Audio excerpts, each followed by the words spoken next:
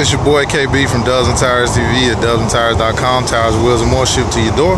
Right now, we are looking at a Porsche Carrera 911. Got the Rohana RF2s 20 by 9 in the front, 20 by 12 in the rear, with a 245, 35, 20 in the front, and a 305, 30, 20 in the rear. Nitto tires.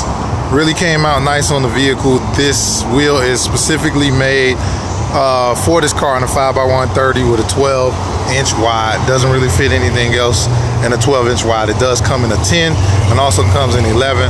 But great looking wheel, really complements this wheel, this vehicle very well.